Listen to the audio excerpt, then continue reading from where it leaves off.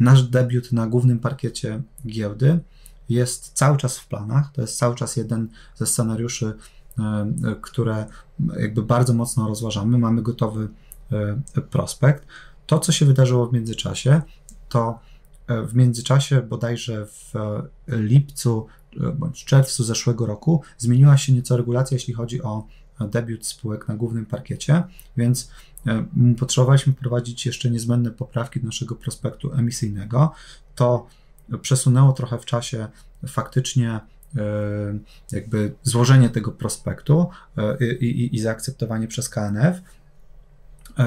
W międzyczasie pojawił się Facebook. Nasza kapitalizacja zjechała powyżej czy poniżej 50 milionów złotych, który E, z tego, co, co, co, co wiem, mo, może być e, jakimś progiem, jeśli chodzi o debiut na, na, główny parkiet, więc według mnie my w tej chwili nie spełniamy e, jakby tych warunków koniecznych do tego, żeby przenieść się na ten główny parkiet. No, oczywiście w ostatnich miesiącach firma też miała po prostu po ludzku ważniejsze rzeczy mm, do, do opieki. To znaczy, może to brzmi kontrowersyjnie, ale jakby Facebook okazał się być naprawdę dużym wyzwaniem, dużym wyzwaniem i cashflowowym, i tego, żeby jak najszybciej zatrzymać te spadki klientów. I jakby z tego wyzwania wychodzimy zwycięsko, no ale to wymagało naprawdę bardzo dużej no, e, atencji, powiedzmy, wszystkich w zespole, bo trzeba było jednocześnie zarządzać komunikacją z Facebookiem, komunikacją z klientami, komunikacją z, e, z giełdą, komunikacją z głównymi akcjonariuszami, komunikacją z radą nadzorczą, e, komunikacją z załogą i tak dalej, i tak dalej, więc było naprawdę sporo tych tematów do żonglowania.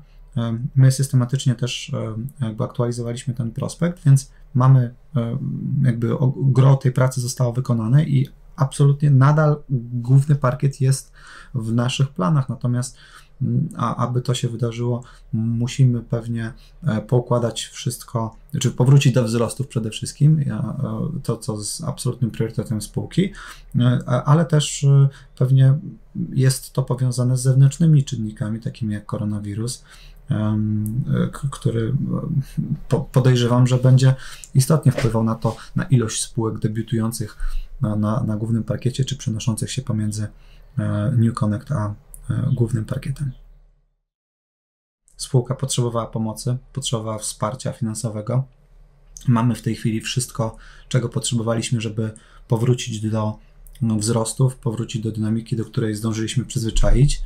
Natomiast e, potrzeba nam finansowania, abyśmy mogli utrzymać tempo rozwoju, które pomoże jak najszybciej wrócić do tych wzrostów. Coś, co warto podkreślać, to że ta blokada Facebooka, która nas tak bardzo dotknęła w zeszłym roku, przyszła w najgorszym możliwym momencie.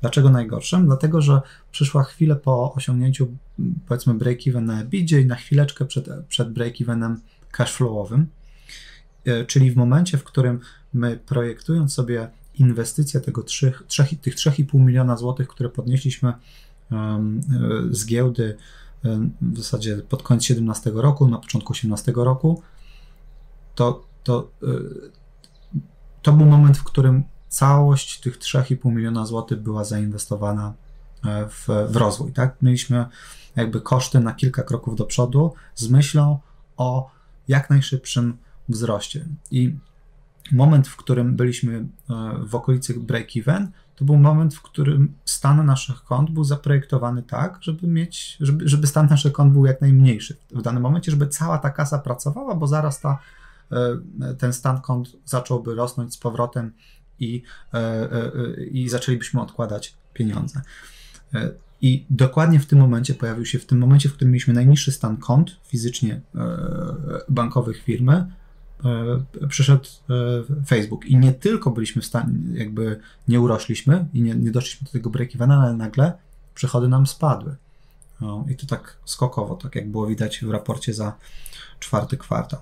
I, e, i to wygenerowało bardzo istotne problemy cashflowowe dla spółki, jakby z których spółka wyszła zwycięsko, ale w tej chwili, żeby jak najszybciej powrócić do wzrostu, jak najszybciej powrócić do tej dynamiki, no, uznaliśmy, że dobrym pomysłem jest z, zrealizowanie no, takiej powiedzmy te, takie, te, takiej rundy, takiego, takiego wsparcia. W zasadzie to jest inicjatywa, która wyszła od głównych akcjonariuszy Brand24, obserwując wyniki spółki, obserwując jej potrzeby cashflowowe i, i, i, i również myślę, wierząc w to, że w niedalekiej, w nieodległej przyszłości wrócimy do jakby tych wzrostów, które notowaliśmy przez ostatnie lata, no zdecydowali się po prostu dofinansować spółkę.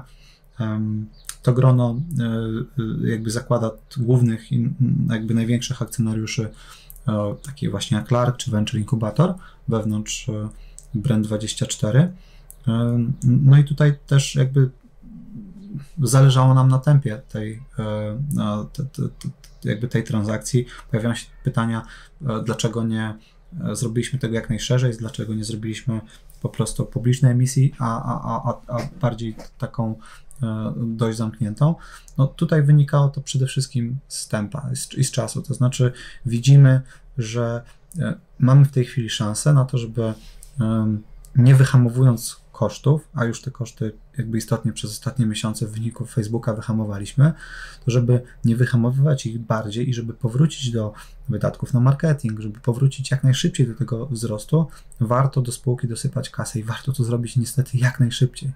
No, no i stąd te mechanizmy, które, e, e, które pojawiły się e, w tym pytaniu, ale tak jak mówię, o szczegóły najlepiej pytać samych uczestników porozumienia o którym my się dowiedzieliśmy tak naprawdę dopiero pod koniec marca. E, tu znowu pewnie warto byłoby odesłać do no, umowy porozumienia, która jest publiczna, ale według mojej wiedzy to jest średnia ważona z ostatnich 30 dni, więc tutaj nie ma jakieś, e, jakiegoś planu e, jakiejś ceny niższej od, jakoś od rynku czy, czy coś takiego. No to jest po prostu średnia ważona, która e, wydaje nam się E, czy, czy myślę, że uczestnikom porozumienia wydawała się być rozwiązaniem fair. Przez ostatnie lata mówiliśmy, że nie potrzebujemy kolejnych rund, no bo e, tak jak mówię, w, na chwilę przed blokadą Facebooka byliśmy na break-even na EBITdzie i byliśmy e, na chwilę przed break-even cashowym i za chwilę mieliśmy odkładać kasę. Za chwilę mieliśmy zacząć generować zyski i odkładać pieniądze na czarną godzinę, czy po prostu przemyśleć e, wkrótce wypłacanie dywidend i tego typu rzeczy. A tu pojawia się blokada Facebooka, która naprawdę e, wymagała od nas cofnięcia się o jeden krok do tyłu. Więc e, tutaj nasze potrzeby finansowania się istotnie zmieniły i tutaj tego nie będziemy, tutaj nie będziemy czarować. Nasz główny akcjonariusz zaproponował pożyczkę, żeby przyspieszyć dostęp do kapitału dla spółki. E, walne zgromadzenie, które mamy zaplanowane na 29 kwietnia, e, no, e, wymaga poczekać na, na, jakby to jest, jest dopiero pod koniec tego miesiąca, a my chcemy działać już tu i teraz. Widzimy, że sytuacja związana z koronawirusem jest też istotną szansą. Jak wspomniałem, widzimy marki, które przechodzą z dużych, drogich narzędzi monitoringu internetu, takich, które kosztują tysiące dolarów miesięcznie i poszukuje e, w tej chwili częściej niż kiedykolwiek e, narzędzi, które są dostępne cenowo, które kosztują kilkaset dolarów. No, nasz średni przychód per klient to jest około setki dolarów miesięcznie, więc jesteśmy idealnie w tym segmencie jakby wysokiej jakości, ale niskiej ceny ze względu na to, że mamy dużą automatyzację, że nie mamy usług konsultingowych. Więc w tej chwili jest najlepszy moment do tego, żeby jakby to powiedzieć, podbierać klientów tym firmom, które oferują monitoring drogi. Dlatego zależało nam, żeby jak najszybciej uruchomić kampanię w Google AdWords, jak najszybciej jakby wyjść przed klientów tych drogich narzędzi i przyciągnąć ich do naszego portfolio. Nie, nie obniżyliśmy cen monitoringu. Y, mieliśmy różne testy e, cen i rzeczywiście w listopadzie testowaliśmy cenę 69 zł w polskiej wersji Brand24, ale w tej chwili, czy w zasadzie bardzo szybko z tego testu zrezygnowaliśmy i podnieśliśmy ją z powrotem do 149 jako minimalny próg wejścia w polskiej wersji. W wersji zagranicznej próg wejścia cenowy się nie zmniejszył, czy, czy nie zmienił nawet, bo to jest nadal 49 dolarów, więc tutaj jakichś e, istotnych zmian nie było. Celem dla Brand24 na 2020 rok jest oczywiście powrócić do wzrostów, e, ale też nie tylko powrócić po prostu do wzrostów, jakichkolwiek, ale powrócić do dynamiki zbliżonej do tego, co e, jakby proponowaliśmy tego, co udało się dowodzić w ostatnich latach. Oczywiście ten 2020 rok będzie trochę przejściowy i pewnie e, będziemy jeszcze czuć efekty e, blokady Facebooka i będziemy tak trochę, mówiąc kolokwialnie, lizać rany. Natomiast e, tak jak wspomniałem, mamy w tej chwili wszystko do tego, żeby do tej dynamiki wrócić i przewiduję, że w 2021-2022 jakby będziemy już na pewno w stanie wrócić do tej dynamiki, która która jakby towarzyszyła tej firmie przez ostatnie lata.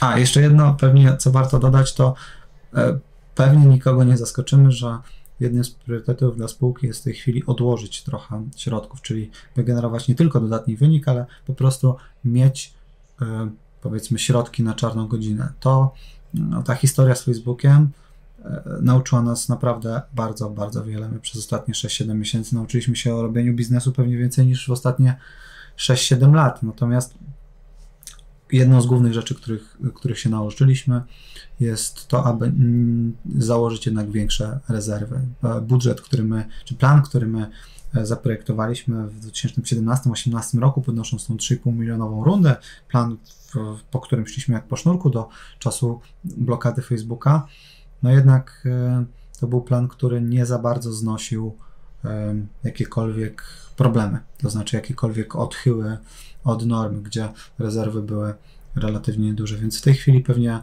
będzie nam zależało na tym, żeby pokazać, e, nie, znaczy nie tylko pokazać dobry wynik i wyjść na plus, ale faktycznie odłożyć trochę kasy, żebyśmy mieli pewien bufor bezpieczeństwa i komfort tego, aby w sytuacji tak jak wirus, czy tak jak Facebook, który miał miejsce, choć tutaj akurat trudno przewidywać, żeby tego typu sytuacje się powtórzyły, ale bardziej może sytuacja z wirusem, abyśmy mieli komfort tego, żeby momentami być w stanie zasypać na przykład wydatkami na marketing jakiś e, podwyższony tymczasowo wskaźnik odejść czy tego typu rzeczy. Więc chcemy ten komfort e, jak najszybciej wypracować i, i, i, i, no właśnie być zabezpieczeni na wszelkie sposoby przed jakimikolwiek kryzysami globalnymi czy lokalnymi.